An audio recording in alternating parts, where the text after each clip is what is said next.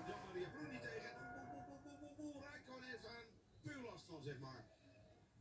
Maar het is ook wel een hele moeilijke plek om aan de kant te gaan. Bij de Minardis, zien nu links en rechts van allerlei auto's. Baumgartner